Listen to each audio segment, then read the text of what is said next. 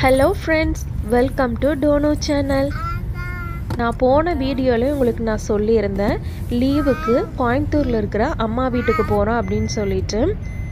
அங்கேருந்து தான் இந்த வீடியோவும் எடுத்திருக்கிறோம்.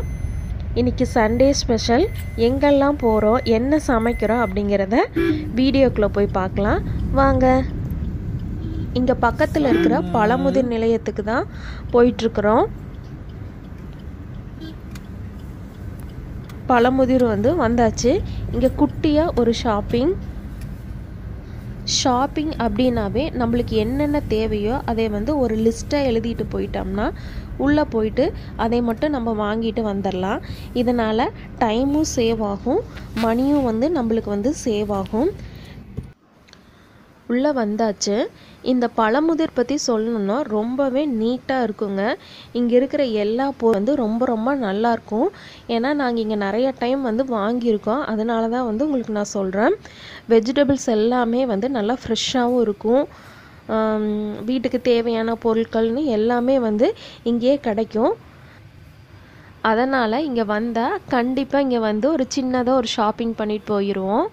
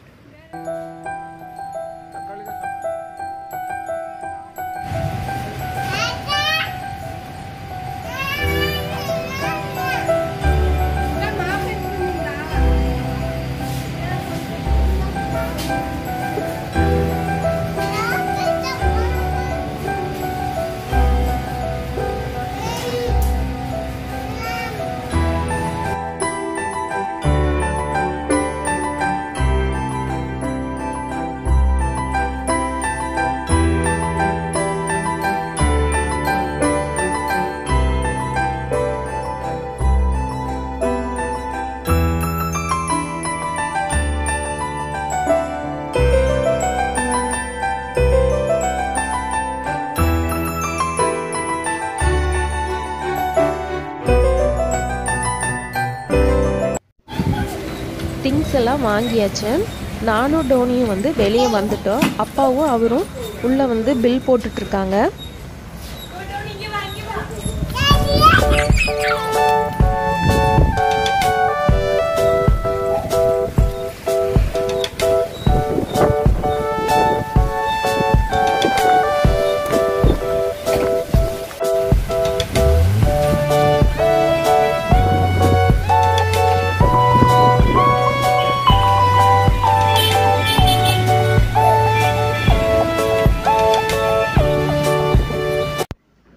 மத்தியானம் லஞ்ச் வந்து அம்மா வந்து ரெடி பண்ணிகிட்ருக்காங்க ரசத்துக்கு வந்து எல்லாம் கட் பண்ணி வச்சுருக்காங்க.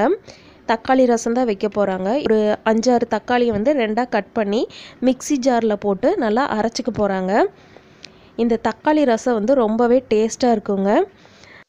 லேட் ஆயிடுச்சு ரசம் வைக்கணும் அப்படின்னா இந்த மாதிரி வச்சு பாருங்கள் சீக்கிரமாக வச்சிடலாம் நீங்களும் ட்ரை பண்ணி பாருங்கள் கண்டிப்பாக இப்போ ஒரு கடாயில் ஒரு ரெண்டு ஸ்பூன் எண்ணெய் ஒரு ஸ்பூன் கடுகு ஒரு அரை ஸ்பூன் வெந்தயம் போட்டிருக்காங்க. இது நல்லா பொரியட்டும் ஒரு பத்து பூண்டை வந்து அப்படியே தோலோடு தட்டி வச்சுருக்காங்க.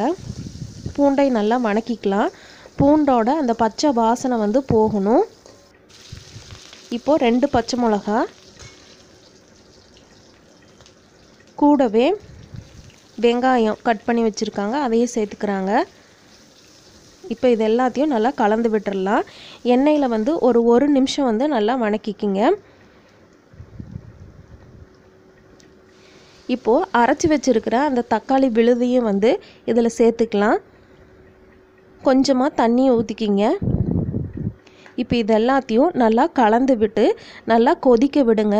அந்த தக்காளியோட பச்சை ஸ்மெல் போகிற மட்டும் ஒரு அஞ்சு நிமிஷம் வந்து நல்லா கொதிக்கணும்.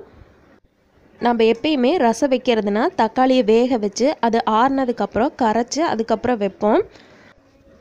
ஆனால் இந்த மாதிரி வச்சு பாருங்க ரொம்பவே நல்லாயிருக்கும் ரசம். இப்போ தக்காளியோட பச்சை ஸ்மெல்லெல்லாம் போயிடுச்சு ஒரு அரை ஸ்பூன் மஞ்சத்தூள் ஜீரக மிளகு நுணுக்கி வச்சுருக்கிறது ஒரு ஒரு ஸ்பூன். உப்பு தேவையான அளவு.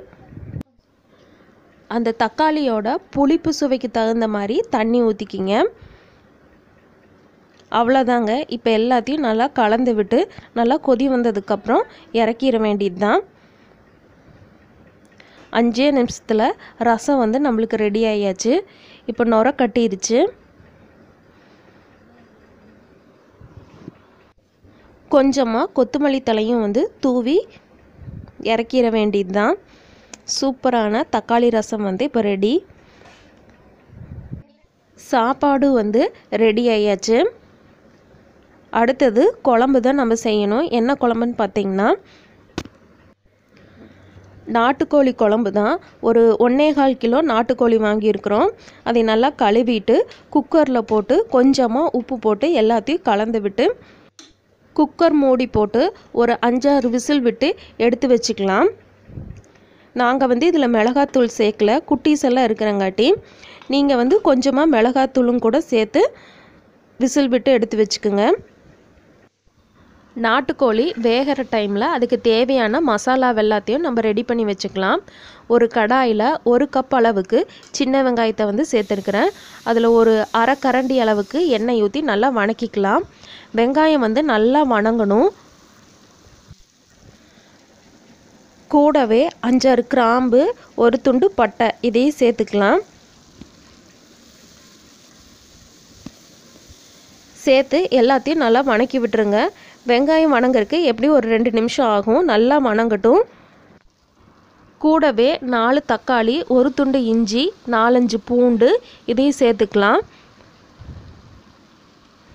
மிளகு ஒரு ஸ்பூன் ஜீரகம் ஒரு ஸ்பூன் அதையும் சேர்த்துக்கலாம்.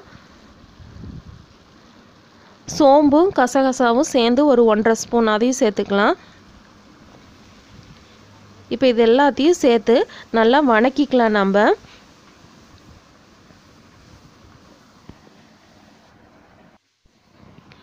வெங்காய தக்காளி எல்லாம் நல்லா வணங்கிருச்சு. இது நல்லா ஆறுனதுக்கப்புறம் மிக்ஸி ஜாரில் போட்டு நல்லா அரைச்சி எடுத்துக்கலாம்.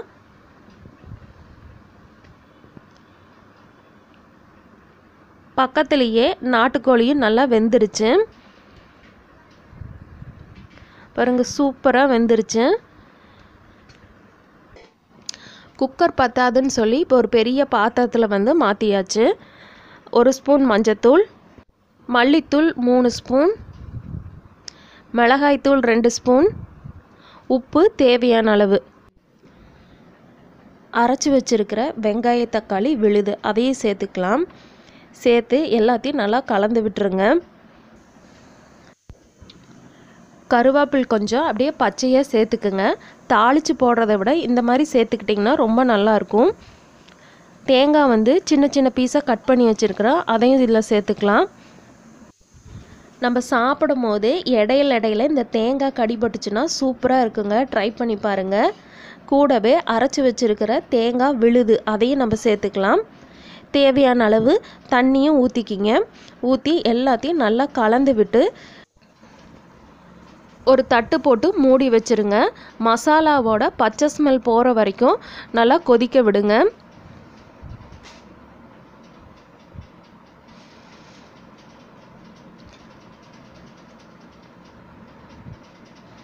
நல்லா சூப்பராக கொதிச்சிட்ருக்குது. அப்பப்போ இடையில எடுத்து நல்லா கலந்து விட்டுருங்க.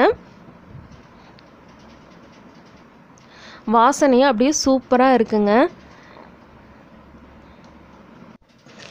இப்போல்லாம் அடிக்கடி மழையும் வருது கிளைமேட்டும் சேஞ்ச் ஆயிடுச்சு அதனால் இந்த மாதிரி நாட்டுக்கோழி வாங்கி குழம்போ ரசமோ வச்சு கொடுத்தீங்கன்னா குழந்தைகளிருந்து பெரியவங்க வரைக்கும் எல்லாத்துக்குமே வந்து ரொம்ப நல்லது.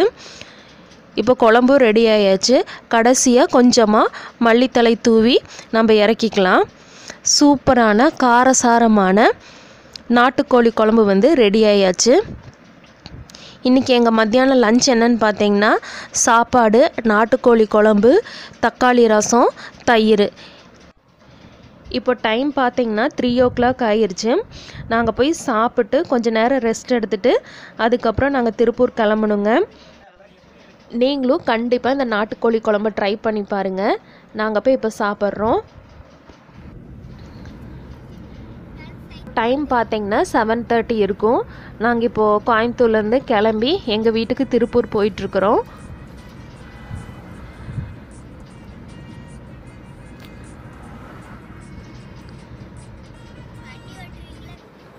இப்போ நாங்கள் எங்கே இருக்கோன்னு பார்த்தீங்கன்னா நைட்டு லேட்டானங்காட்டி சரி டிஃபன் சாப்பிட்டு போயிடலான்னு சொல்லிட்டு இங்கே அவினாசியில் இருக்கிற அன்னபூர்ணாக்கு வந்து வந்திருக்கிறோம். அனு என்ன ஆர்டர் பண்ணியிருக்காருன்னா ஒரு ரோஸ்ட்டு நான் வந்து சோளா பூரி ஒன்று டோனிக்கும் அவங்க அப்பாவுக்கும் இட்லி. இதாங்க நாங்கள் ஆர்டர் பண்ணி இப்போ சாப்பிட்ருக்குறோம்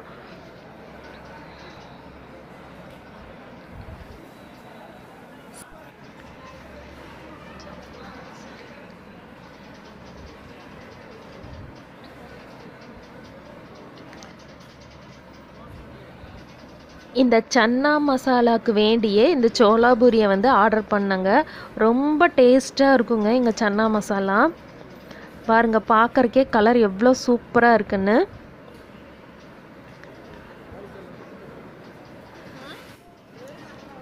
நாங்களும் சாப்பிட்டு இனி வீட்டுக்கு கிளம்ப போகிறோங்க இதோட இந்த வீடியோ நாங்கள் முடிச்சுக்கிறோம். இந்த வீடியோ உங்களுக்கு பிடிச்சிருந்துச்சுன்னா மறக்காமல் டோனோ சேனலை சப்ஸ்கிரைப் பண்ணிக்கிங்க. பக்கத்தில் இருக்க பெல் பட்டனையும் கிளிக் பண்ணிக்கிங்க. தொடர்ந்து நாங்கள் போடுற வீடியோக்களை பாருங்கள் எங்கள் சேனலுக்கு தொடர்ந்து சப்போர்ட் பண்ணுங்கள் உங்கள் ஃபீட்பேக் என்னங்கிறதையும் கீழே கமெண்டில் வந்து சொல்லுங்கள் தேங்க்ஸ் ஃபார் வாட்சிங்